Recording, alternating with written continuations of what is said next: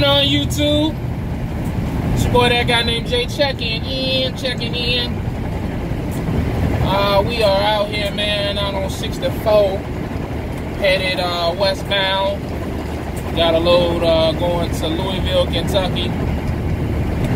Uh, of course, coming out of Norfolk, you know. Um, you know, I'm in the port, so everything's come, coming from Norfolk, Portsmouth, in that area. So yeah, so basically I've been doing it for like a week now, week and a half, whatever. And uh, you know, I'm just getting adjusted. You know, what I mean, getting adjusted to the way things run.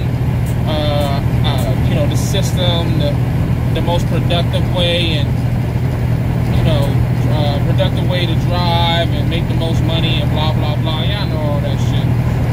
So last week I did two loads. Uh, one went to Kentucky, one went to upstate New York. It was kind of like a like first stop was in Virginia, and then it was like a back haul, I guess, if you will, up in upstate. So uh, all together, um, I haven't gotten my statement, my settlement yet. I think I get that like Friday. Um, but basically, that's going to be about uh, I want to say 1100 before anything comes out. I think the Kentucky run was like 500 plus, and then the upstate New York joint was like 600. And um, so uh, when I get that settlement, I'll probably show you, or maybe I won't. I don't know. I'll decide what I'm going to do. But uh, and that's pretty much how this week is going to be as well.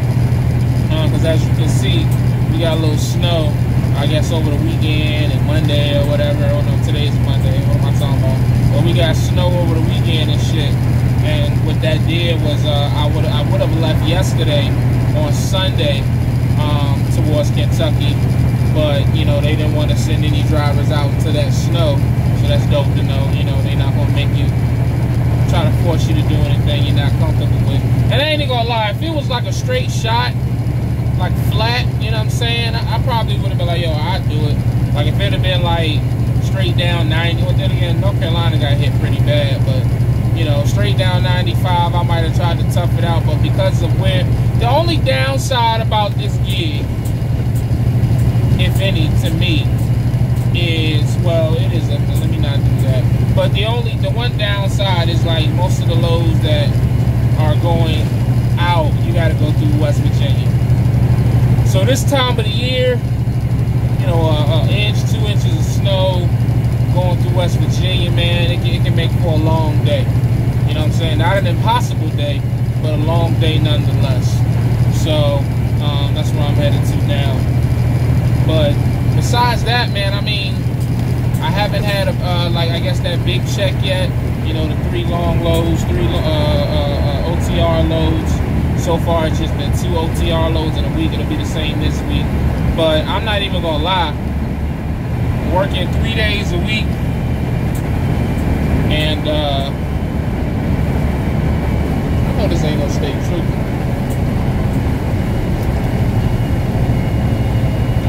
Looked like a station. Don't you hate that? A car pull up on you real fast, I had to check my speed. Uh, a car pull up on you real fast, and it, it looks like a damn unmarked car, an unmarked uh, police car, and then all it is is just a regular car. Got it. Uh, like you know, everybody know the Universal State supercars. You got the Crown Vics, you got the damn Impalas, the Ford Explorers, the the Chevy uh, Tahoes. You know what I'm saying? So anytime they, they get behind you, you know, you just you know. And the sad part is you don't be doing nothing wrong. You be just driving and you just see them, that you just clench up. But anyways, back on point. To be able to work three days a week and make a thousand to eleven hundred dollars, man, I, that's just not bad to me. Like last week, I was home Sunday night, uh, Monday, no, excuse me, Sunday night, Tuesday night. I was home Wednesday night, Friday night, Saturday night, and Sunday night. Out of those days, I was completely off Sunday, Friday, Yeah, Friday. I drove back Friday. I think I was off like two and a half days where I won't doing nothing.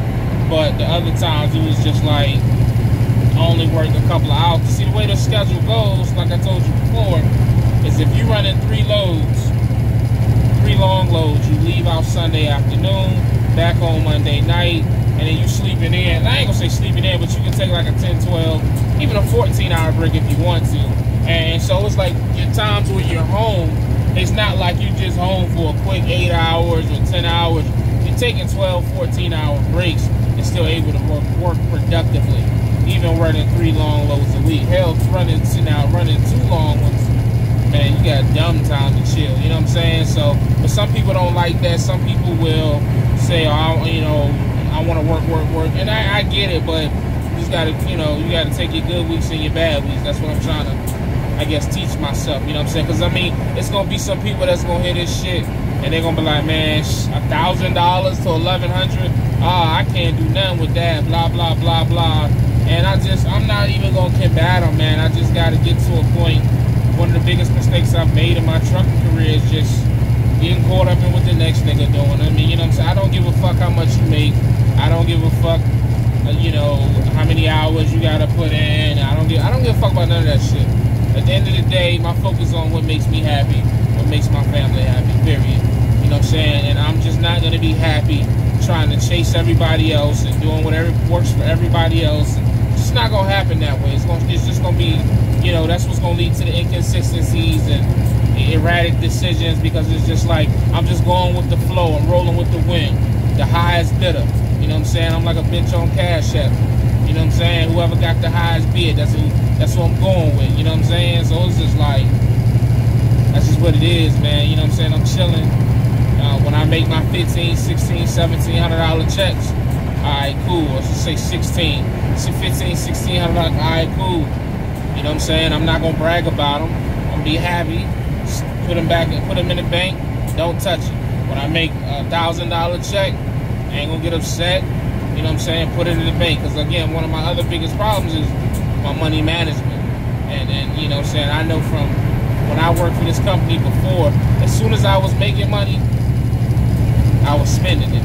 You know what I'm saying? I'm in a position now to where I can do like I was doing on the road uh, which is why I was able to come home with some money and not work for two weeks and not do nothing and still not miss a beat. But um, if I, you know, so I could do the same thing here, man. Like everything that I wanted to do OTR with the last company, I'm more than capable of doing it with this company. I'm just able to be home. So it's a win-win for me. You know what I'm saying? Uh, I'm, I'm about to start getting into some videos, getting more in detail about certain reasons why I came home and just things to that nature and it's just that's just what it is, man. That's the update. That's that's that's what's been going on. Probably a little boring video, but hey, it is what it is, man. It ain't no drama. It ain't no. I'm actually happy. I'm actually, you know what I'm saying, feeling good about myself. So it's not gonna come off as me being depressed and crying and all that. You know what I'm saying? So that's what you're looking for, you ain't finna get too many more of those videos. I'm gonna tell you that right now, because I'm in my happy place. I'm home. I'm chilling. I got some things that I need to work on that maybe I was running from going on the road, but now that I'm home, I can really deal with some the real issues in my life, not just trucking wise, but like real personal. You know, I told you about my depression, my health, things to that effect. I can really start attacking that shit like I was doing when I was local before. You know what I'm saying? So, but anyways, uh, as always, stay safe, stay positive, stay productive. God, family, trucking, man, go.